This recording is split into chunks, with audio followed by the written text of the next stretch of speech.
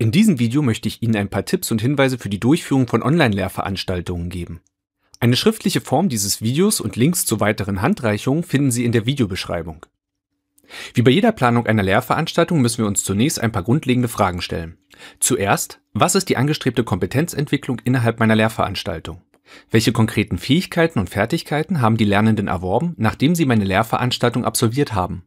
Was ist also das Ziel meiner Lehrveranstaltung? Aus diesem Zusammenhang heraus ergeben sich folgende Fragen.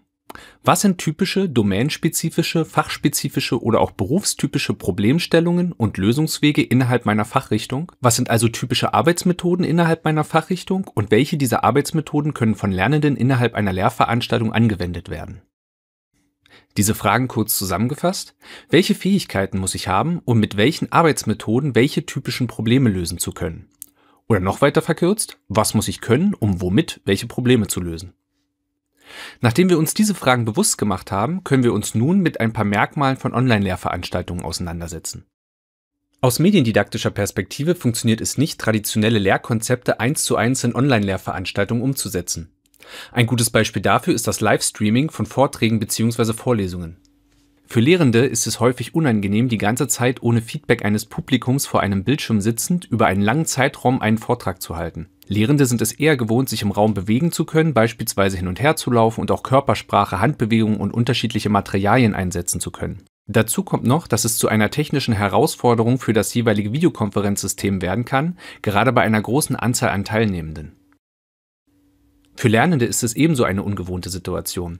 Es wird häufig als merkwürdig wahrgenommen, sich zu einem festgelegten Zeitpunkt über einen längeren Zeitraum hinweg ein Video anzuschauen, ohne die Möglichkeit zu haben, das Video zu pausieren oder vor und zurück zu skippen. Man muss daher die Frage stellen, was der Mehrwert eines Livestreams bzw. einer Videokonferenz ist, bei der eine große Anzahl an Personen zeitgleich anwesend sind, bei der aber nur eine Person aktiv ist. Für Online-Lehrveranstaltungen empfehlen sich daher asynchrone Lehrkonzepte, die mit synchronen Elementen ergänzt werden. Wie kann sowas aussehen? Statt Vorlesungen oder Lehrvorträge live zu streamen, empfiehlt es sich, Lernmedien zur Verfügung zu stellen. Als Lernmedien eignen sich beispielsweise Audiodateien, Videos oder Dokumente. Verknüpfen Sie die Lernmedien immer mit konkreten Arbeitsaufgaben oder Fragestellungen, die von den Lernenden bearbeitet werden können. Das kann auch in Form eines Quiz sein. Die Ergebnisse der Aufgaben besprechen Sie im Idealfall im Anschluss in einer Präsenzveranstaltung oder in einer Videokonferenz. Videokonferenzen können darauf aufbauend ebenfalls dazu verwendet werden, Lernenden Fragen zu beantworten, weiterführende Problemstellungen oder mögliche Anwendungsfelder in der Praxis zu diskutieren. Nutzen Sie also zur Vermittlung von Fachinhalten Lernmedien, die von Lernenden zeitsouverän konsumiert werden können, und setzen Sie die Videochats dazu ein, um mit den Lernenden in einen aktiven Austausch zu treten. Welcher Mehrwert ergibt sich daraus? Lernende haben die Möglichkeit, sich zeitsouverän in einer selbstgewählten Geschwindigkeit mit Inhalten auseinanderzusetzen.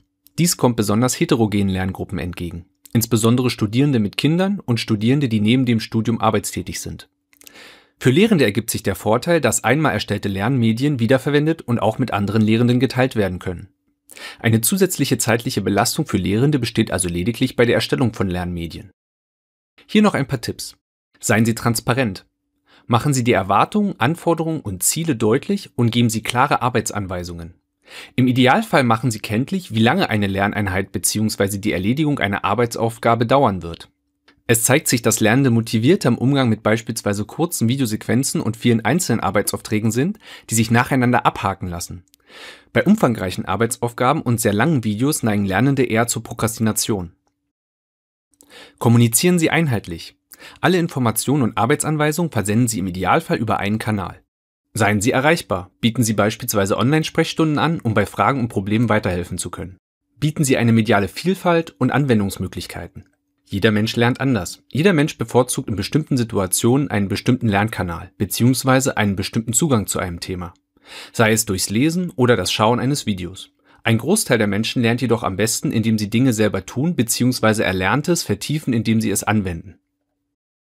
Ermutigen Sie Lernende dazu, sich auszutauschen und gemeinsam zu lernen. Auch hier können Videokonferenzsysteme verwendet werden, um sich zu treffen, um gemeinsam Problemstellungen zu bearbeiten und Inhalte zu diskutieren. Geben Sie die Möglichkeit, eigene Lösungswege zu entwickeln und auch kreativ zu werden. Ermöglichen Sie einen Lebensweltbezug. Zeigen Sie auf, wo im Alltag Lernende mit bestimmten Problemstellungen konfrontiert werden, beziehungsweise wo im späteren Arbeitsalltag bestimmte Problemstellungen auf die Lernenden warten können. Es hilft Lernenden, sich motiviert mit bestimmten Problemen auseinanderzusetzen, wenn sie wissen, warum dies für ihre Lebenswelt relevant ist und warum es erstrebenswert ist, sich eine bestimmte Kompetenz anzueignen. Seien Sie realistisch. Das gilt für Lehrende wie für Lernende. Die Umstellung von Präsenzlehrveranstaltungen, für die ich Bildungsinstitutionen besuche, hin zu Online-Lehrveranstaltungen, an denen ich komplett von zu Hause aus teilnehme, ist für alle eine starke Umstellung und bricht mit den meisten traditionellen Erwartungen ans Lehren und Lernen. Es ist also davon auszugehen, dass Lehrveranstaltungen oder auch Arbeitsprozesse zunächst nicht so reibungslos verlaufen werden, wie wir es eventuell erwartet haben. Machen Sie sich immer wieder bewusst, was das Ziel Ihrer Lehrveranstaltung ist und welche Kompetenzen die Studierenden entwickeln sollen. Entwerfen Sie entsprechend passende Lehrmedien und setzen Sie Videokonferenzen ein, um mit den Lernenden in einen aktiven Austausch zu treten. Sehen Sie Ihre Rolle weniger als Lehrende, sondern mehr als beratende, den Lernprozess begleitende Person.